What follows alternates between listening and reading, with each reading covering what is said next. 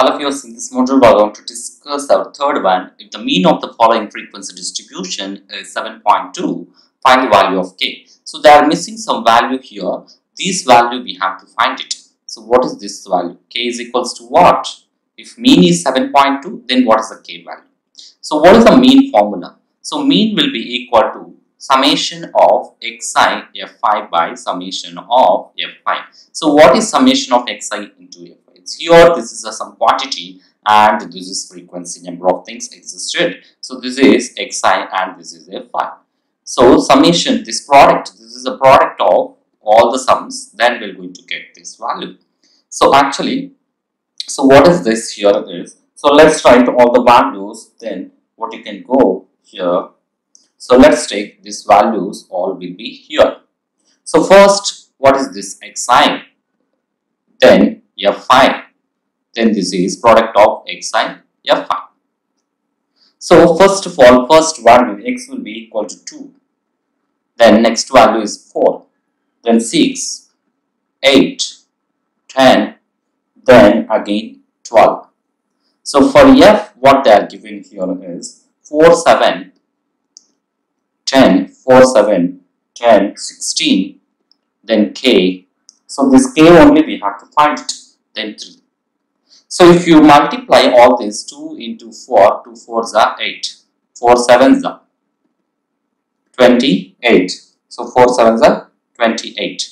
Again 6 into 10, 60.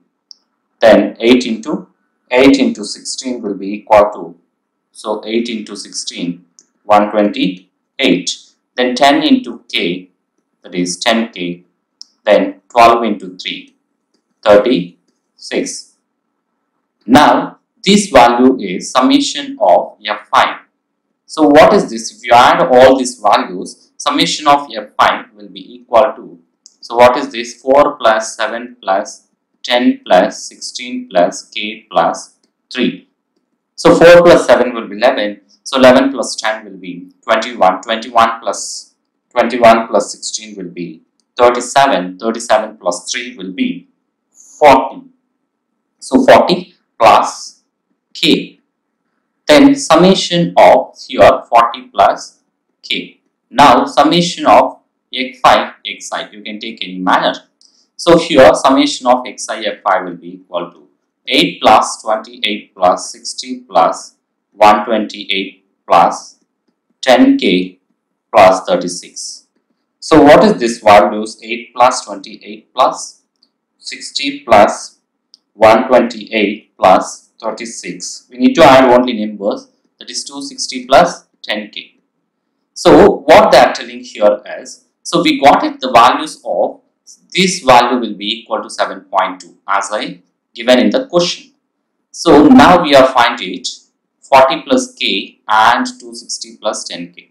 So these are the values. Now we are going to substitute here.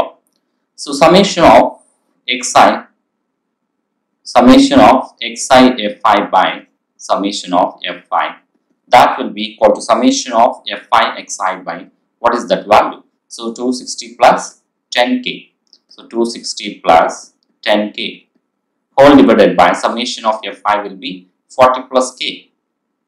40 plus k that will be equal to 7.2 so let's write all these steps again. So 260 plus 10k whole divided by 40 plus k will be equal to 7.2.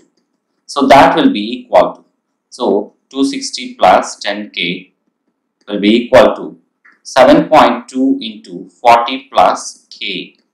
So 7.2 into 40 plus 7.2 into k. So 7.2 into 40, what is the value of this is 288 plus 7.2k.